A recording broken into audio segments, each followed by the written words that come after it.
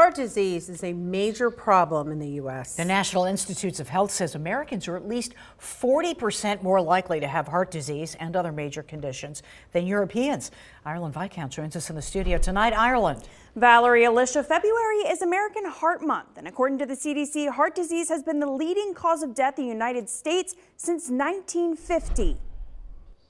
My mom had passed uh, to heart disease. She passed with uh, congestive heart failure few years ago. Brian and Patty Sabak are personal trainers in the Harrisburg area. They always emphasize the need to exercise, but really push it during Heart Month. The American Heart Association says we should get about 150 minutes of exercise a week, which is about 30 minutes five days a week. Just to start small, even if it's 15 minutes a day, every other day, it's more than what you were doing the week before and you just consistently build on that. You can break that up if you want, and you can do it in smaller chunks. WellSpan cardiologist Pete Barkley says it doesn't have to be an intense workout. You don't need your heart racing necessarily, but you, we like to carry out activity that increases your heart rate. Barkley adding, eating healthy is also important. If you're wondering where to start, the American Heart Association has great recipes on their website. And people can, with those simple things, can live longer, be happier, stay out of the hospital,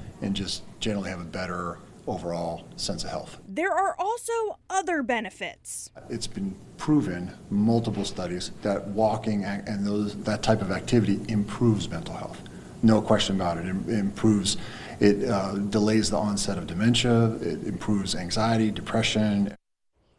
Changing the way you eat may be difficult. The American Heart Association shares three tips for success. Watch your calories, cook at home, and eat heart healthy foods, including leafy greens, fruits, and whole grains. Live in the studio, Ireland Viscount, ABC 27 News.